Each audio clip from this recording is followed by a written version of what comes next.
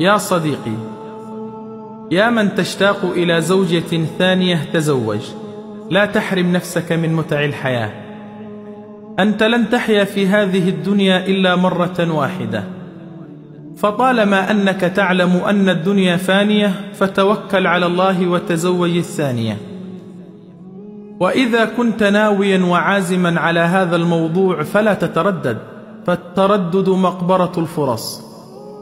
فلا سبيل لإقناع المرأة بالزوجة الثانية حتى ولو كانت صحابية. هناك من النساء من تتمنى لزوجها أن يموت ولا يتزوج عليها. دخل رجل على زوجته وقال لها إن الأمير أمر أن يتزوج كل رجل على زوجته بزوجة ثانية. ومن لم يتزوج بزوجة ثانية فسوف تقطع رقبته.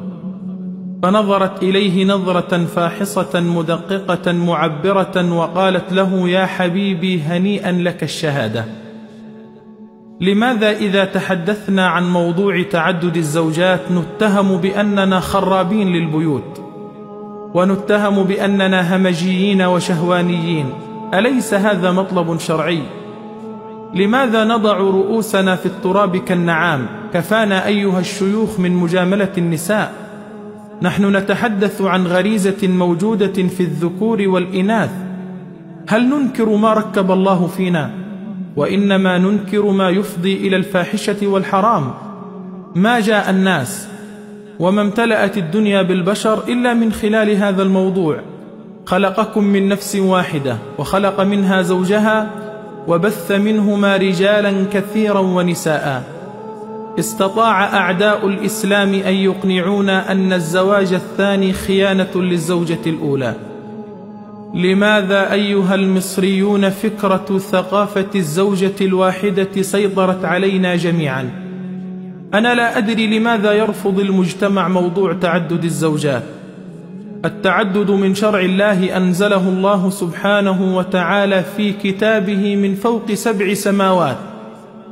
فانكحوا ما طاب لكم من النساء مثنى وثلاث ورباع. هذا قرآن. رضي من رضي وسخط من سخط ودين الله أحب إلي من أي أحد. وكلمة الحق لا تقطع رزقا ولا تقرب أجلا. فيا حبيبي الذي أباح التعدد هو الله رب العالمين. الله سبحانه وتعالى هو الذي خلق المرأة. وخلق فيها الغيرة ومع ذلك أباح للرجل أن يعدد عليها. فيا حبيبي إذا كنت تميل إلى النساء فتزوج. زين للناس حب الشهوات من النساء. وإن الرجل الذي لا يميل إلى النساء ناقص في رجولته مشكوك في فحولته متهم في غريزته ضعيف في إرادته. والنساء كالبحر كلما شربت منه ازددت عطشا. فنحن مع تعدد الزوجات ولسنا مع تعدد العشيقات. لماذا أيتها الزوجة الأولى تنظرين إلى الزوجة الثانية على أنها إنسانة متطفلة؟ وتنظرين إليها على أنها إنسانة سرقت زوجا من زوجته وأبا من أطفاله وبيته مما يدفعها إلى الانسحاب وطلب الطلاق أو الشعور بالخزي بسبب موافقتها على الزواج من إنسان متزوج. المرأة تحارب التعدد بطبيعتها البشرية لكن عندما تكون هي أو ابنتها أرملة أو مطلقة سترى التعدد الحل الأمثل لإصلاح المجتمع. الصحابة رضي الله عنهم كلهم عددوا. عدد الصحابة كما قال الإمام أبو زرعة الرازي 114 ألف صحابي. هل تعلم أنه لا يوجد صحابي واحد اكتفى بزوجة واحدة؟ من الصحابة من تزوج باثنتين ومن الصحابة من تزوج بثلاث ومن الصحابة من تزوج بأربع. وأنا لا أعلم بيتا في بيوت الصحابة كان فيه امرأة واحدة. زيادة على ذلك الصحابة كان عندهم الجواري وكذلك كان عندهم زواج المتعة. وزواج المتعة في بداية الإسلام كان جائزا ثم بعد ذلك صار حراما. ثلاثة أشياء كانت متاحة بالنسبة للصحابة تعدد الزوجات والجواري وزواج المتعة. وجاء في التوراة في كتاب بني إسرائيل أن داود عليه السلام تزوج بألف امرأة. وجاء في صحيح البخاري أن سليمان عليه السلام تزوج بمئة امرأة والحسن بن علي سيد شباب أهل الجنة تزوج أكثر من سبعين امرأة. وكان علي بن أبي طالب رضي الله عنه يقول للناس لا تزوجوا الحسن فإنه مزواج مطلاق. قالوا والله لنزوجنه نريد شرفكم أهل البيت. وفي دولة الكويت الشيخ جابر الأحمد الصباح تزوج أكثر من ستين امرأة. أنا لا أدعوك إلى الزواج من ستين امرأة أو سبعين امرأة بل أنا أدعوك إلى الزواج من زوجة ثانية فقط. يعني أنت في هذا الزمان حياتك كلها تكتفي بزوجة واحدة أنت مظلوم. زوجتك من طول العشرة أصبحت تنظر إليها وكأنها أختك. الزوجة الزكية العبقرية هي التي تسعى لإسعاد زوجها لماذا تحرميه من الحلال؟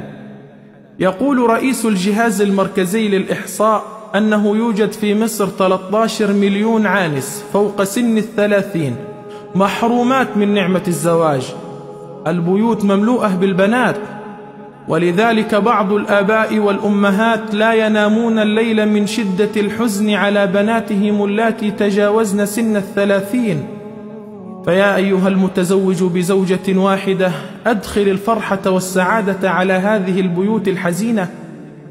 بالله عليكم هل من العدل أن تتمتع بعض النساء مع الأزواج؟ وتبقى الأغلبية محرومات من الرجال. أنا أريد من كل امرأة متزوجة أن تتخيل نفسها مكان المرأة المحرومة لتعرف مدى المعاناة التي تعانيها تلك المرأة المحرومة.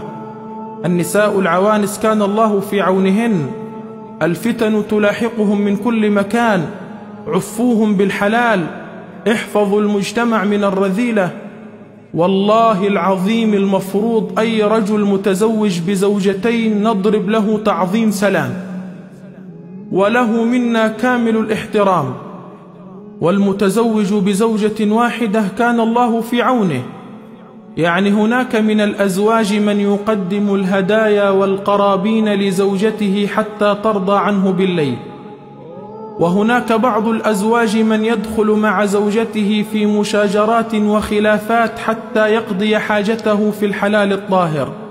يريد أن يلبي نداء الجسد وهي ترفض بحجة أنها متعبة طوال اليوم من الأولاد ومن الوقوف في المطبخ.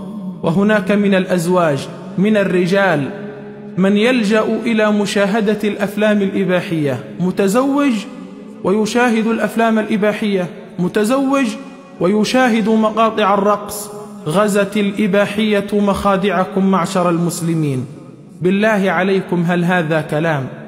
يا حبيبي إذا كنت تميل إلى النساء وعندك القدرة وكنت صاحب شخصية قوية وتملك المال والسكن فتزوج ولا تعرض نفسك لغضب الله عليك والله العظيم يا إخوة امرأة واحدة لا تكفي ولو كانت جميلة الجميلات. لكن حتى أكون منصفا في كلام